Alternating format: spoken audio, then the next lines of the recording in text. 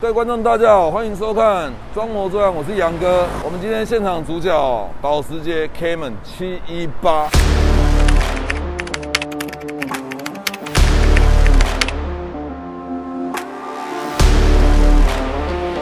属于是比较刁钻型的二座型的跑车哦。这台车的上一代其实就是保时捷的九八一七八，是目前啊最新的车型。这个车型大概从二零一八年以后一直到现在，即将要出现小改款。客人哦想要做一个比较属于是升级款的改装，这次的目标是要把它升级成七一八的 GT Four，哦，就是像画面中这个样子 GT Four。那这一次哎，我们所订到的空力套件哦，全套其实是还是要做过密合度修正的，因为这一组是玻璃纤维的版本。但是大家都知道哦，其实保时捷本来就有非常多改装套件都是玻璃纤维的，将这台车子直接升级成为一个所谓的 GT4 样式的改装版。哦，那我们这台车会怎么改？就接着看下去了，走。密合度都。有点怪怪的啦，尤其这种地方线对不到，这边的缝也比较大。我们这边如果能做极限，也只能够雕高一点，往里面锁一点。这边线也不对，现在还没看到灯跟轮毂这一段。这边等下，这边也要合合看。先这样吧。来，你看一下，哦它现在的那个鼻头这边是有缝的哦，这边也磨破了哦。那大灯下面手指头也伸得进去哦，你看这边是有缝的。再看一下这个侧面哦，这个这个灯的部分哦，跟保杆也是都没有平。我帮你修，这边都缝都这么漂亮了哦，这边都平的漂亮，脚上来，大灯下面缝也修了，上面这边缝也漂亮了，这边的缝都漂亮到很密了哦，这边。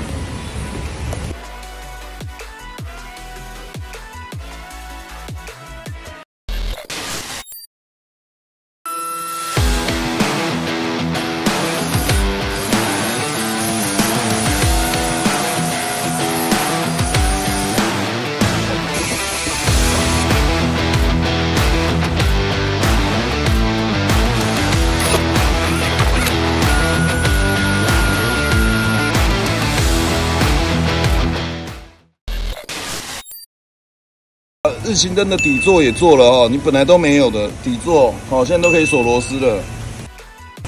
正面的密合度、日行灯都做好了哦，这平整度都不行啊，这都是波浪能，看得出来哦，这整个都要抓，所以这个时间是要有的哦。好了，这样子就可以送烤漆了啦。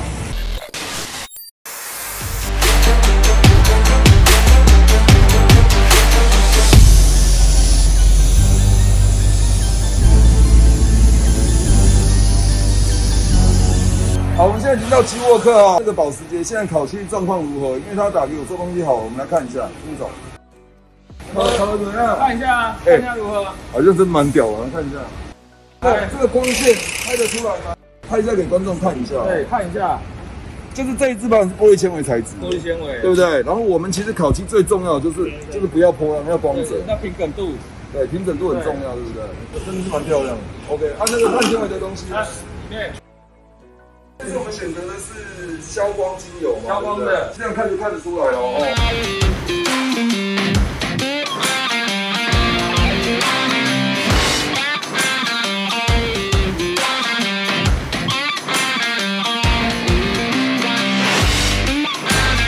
一般来讲，碳纤维的话做亮面的跟做消光的，其实消光有消光的感觉，不一样的感觉。对哦，这个是用消光精油去喷的，对不对？所以所有的碳纤的配件都是走一种雾雾柔柔的感觉。但是这消光精油有什么优点跟缺点？优点刚来讲比较好涂啦，缺点不能不能抛光，一抛就变亮。变亮。那我如果今天是消光的，我想把它抛成亮的也可以哦。它跟精油面比起来，它会比精油面的概雾一，它没有办法到全亮。其实雾的还是雾的啦，对，就是看你喜欢挑哪一种感觉，哪种做法。对，完全不能打蜡。所以消光精油要喷，其实比较考验自己。对，不能流鼻涕啊，不能有颗粒啊。哦，好，今天我们谢谢这个向老板啊，又搞定一次了。哎，不能握手，不能握手，不能握手。那我就带回去了。OK，OK，好，走。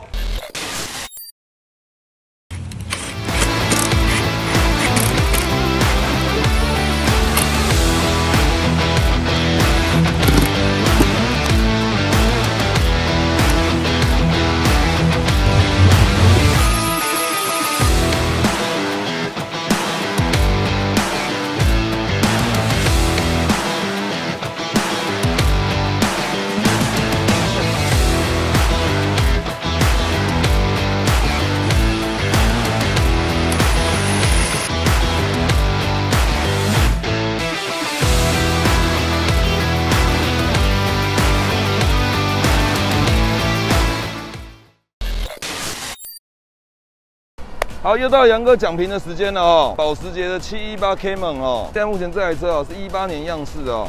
它原本设定的马力，也就是两千 cc 水平对卧引擎，对原厂就具备三百匹，加上 PDK 变速箱，其实是一台原厂就推出操控版的硬汉小跑车，等级还往上升的，有二点五引擎的跟四点零的引擎哦，这些不同规格，但是外观其实大致上来讲，车身都同一个。一般款的前保杆升级成为 GT4 最高规格样式的运动版前保杆哈，其实做保时捷的保杆，台湾已经有非常多公司能够承接，北部也有，中部也有，都很多厉害的店家专门在处理保时捷。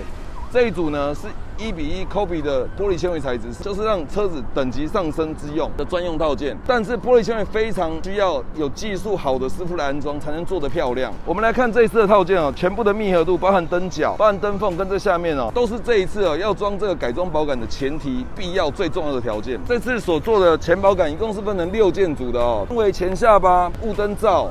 然后左右的这个气口塞加上保杆主体，看那个影片的过程中，整只保杆的组合的过程其实非常的繁复，包含了喷水头要如何固定，要怎么用玻璃纤维做出支架来固定这雾灯，还有最重要是整组的密合度，这些东西都是在挑战店家的功力。车头的这平整度哦，待会帮我打一下那个反光的那个光影。最主要是这次碳纤维，我们是用五十五帕的进口消光精油来处理，所以呢看得到它有一个淡淡的。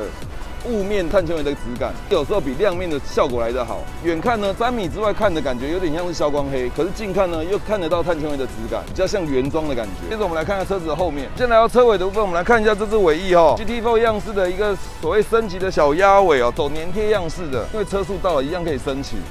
这次保时捷最主要的家族象征哦，就是他们这次都把左边的尾灯跟右边尾灯做一个连贯，拉一条直线，所以这次的特征其实非常的好认，这新款线都是这样，而且它的 Porsche 的字样很明显的用立体的附在这个中间尾灯上，镜头可以带一下那个字，这样跑一下。然后再来后下巴，七一八原本的排气管是在中间，排气管要换一下改装的哈，然后后下巴直接换 GT4 Sport 样式的，这个后下碳纤维材质的，就跟 GT4 赛道版的外观呢看起来是一样的。那我们再来看一下侧面。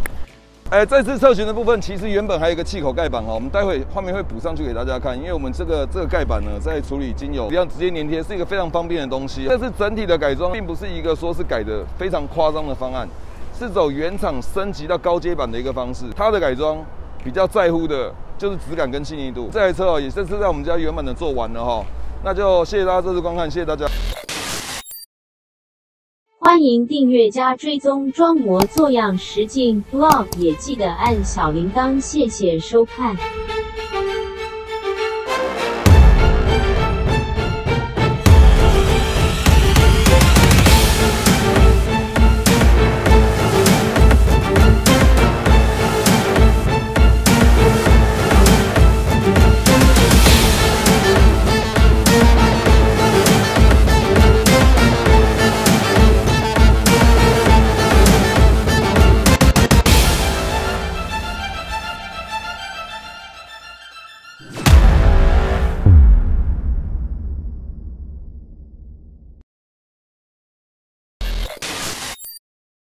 再回到店里喽，现场这台也是一台保时捷啊，但是这台车比较有年纪，是零七年的 Cayman 哦，中古行情大概在七十万到一百万之间，要把它直接移植成为七一八的 GT4，拭目以待，看这集做起来什么样子。走了，目前这上半截九八七专用的保杆，是用上半截哦跟下半截做一个打造，跟这个新款的七一八最新的哦六件组的前保杆做一个组合。现在开始哦。